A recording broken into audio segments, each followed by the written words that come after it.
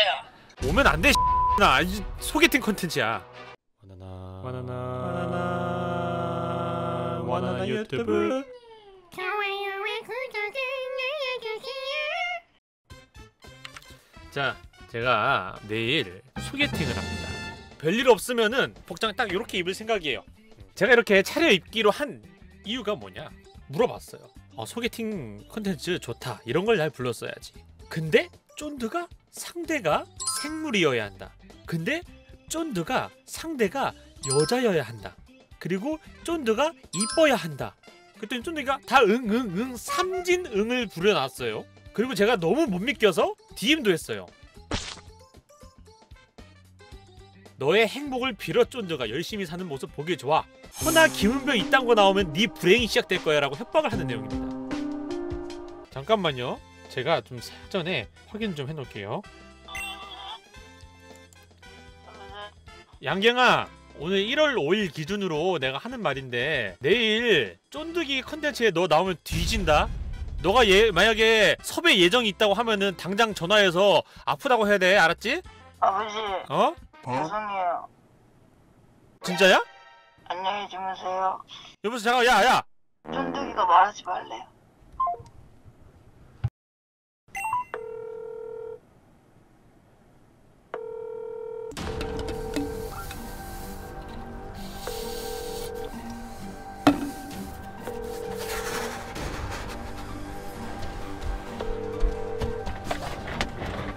뭐 쫀득이 전화 안 받네?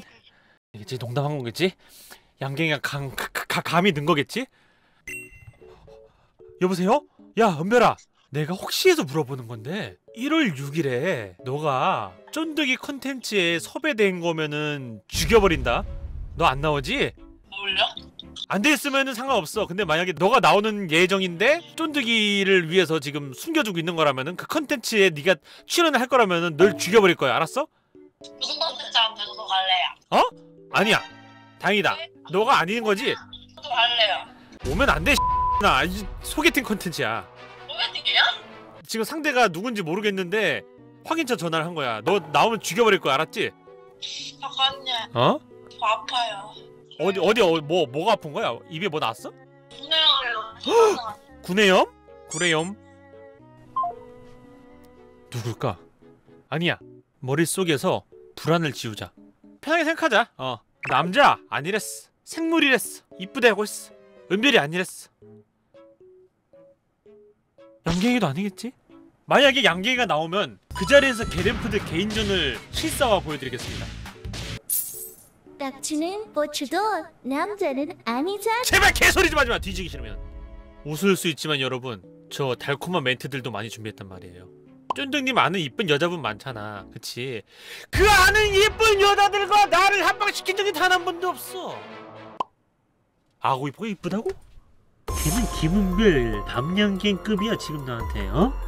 아 조심하자. 조심해.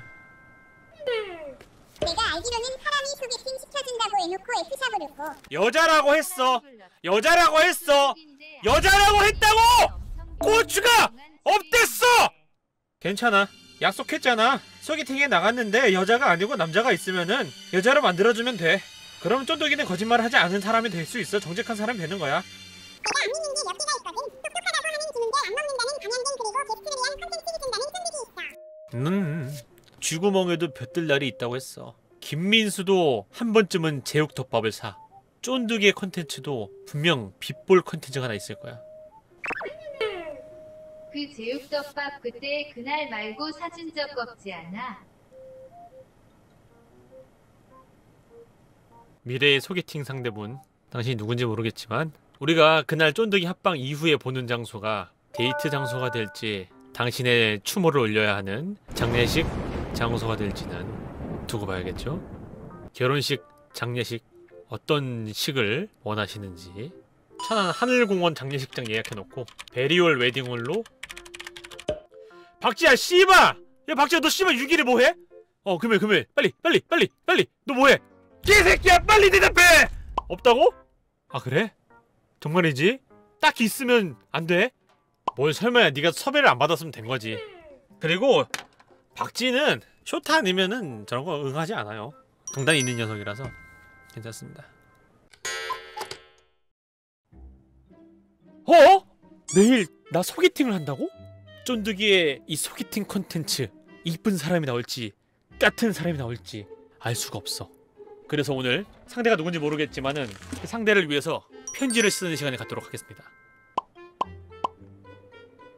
아니 근데 내가 이제 현실적으로 생각했을 때 얘들아 여프 박삐삐는 솔직히 나한테 완전 땡큐지 근데 그 사람들이 나왔을 때 쫀디가 생각한 재밌는 그림 나올 것 같진 않아 그럼 재밌는 그림을 그리기 위해서 누굴 초대했느냐 근데 솔직히 와빌리지를 건드렸다? 그건 일단 아니라고 생각해야 돼 그런 일이 있으면은 나는 거기서 방송할 수가 없어 나 그들은 아닐 것 같고 와빌리지도 너무 뻔했다 어떤 의미로는 그래서 일단 그녀에게 레터의 시간을 갖도록 하겠습니다 자 그럼 한번 편지를 써보도록 할까요?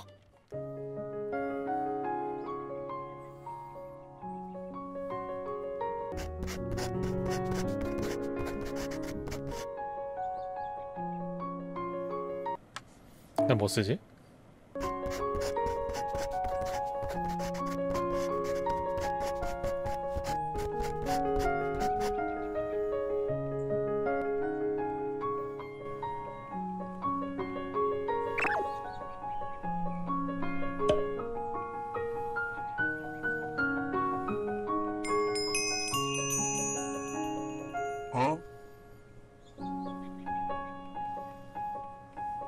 이름 모를 내 님에게 삶이란 거친 풍파를 헤쳐나가는 항해와도 같다고 합니다.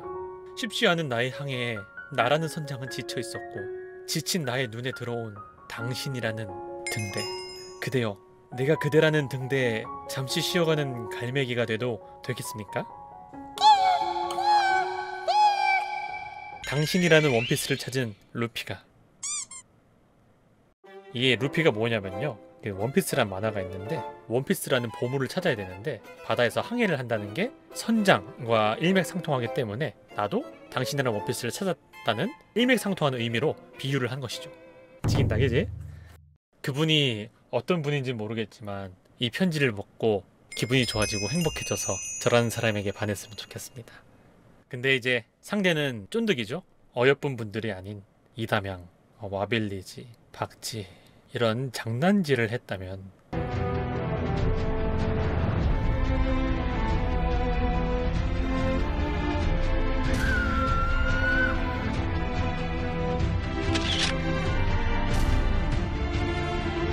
하지만 정말 쫀득이가 날 챙겨줬다면은?